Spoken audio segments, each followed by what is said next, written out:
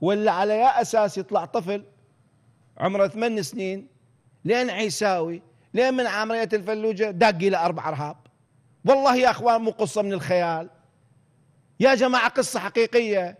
ما شفنا لقطات هذا الطفل؟ هذا عمره أقل من ثمان سنين. داقي له أربع أرهاب شنو؟ شنو؟ على يا مقياس على يا أساس. وين النايمين منظمات حقوق الإنسان؟ وينهم النايمين النواب المدافعين عن حقوق الإنسان؟ طفل عمره أقل من ثمان سنين تدقوا له أربع ارهاب على على اي أساس.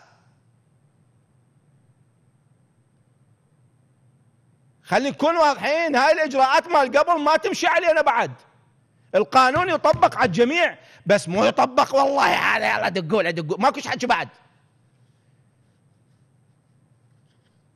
أهل السنة والجماعة هم العراق. مثل الشيعة الجعفرية هم العراق.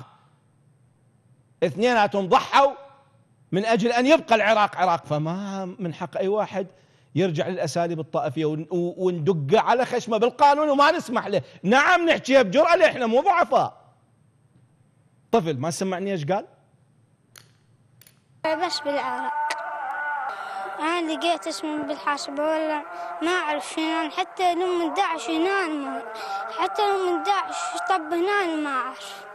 أنا بعد ما جاء البطن بس بالعراق.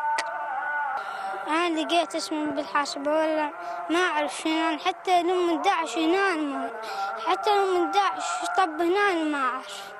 أنا بعد ما جاء البطن بس بالعراق.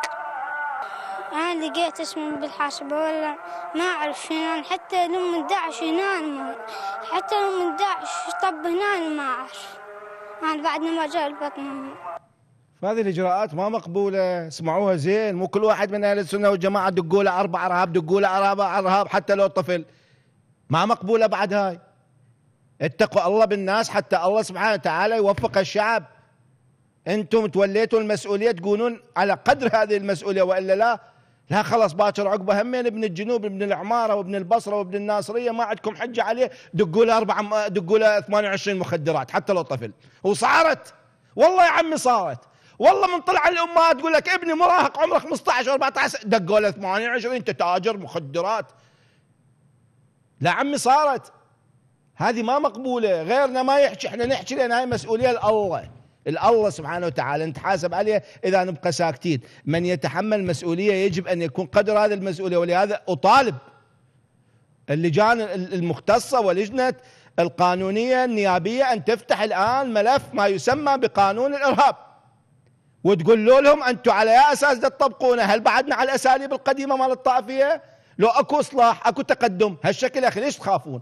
يا أخي أنا ليش أصير نائب اذا اخاف بس ارد احكي ليش اصير نائب باسم باسم الشعب إذا أخاف؟ ما اصير نائب اقعد يمرتي اللي يصير نائب يقول بقد المسؤولية اللي يصير وزير يقول بقد المسؤولية. وحسبنا الله ونعم الوكيل.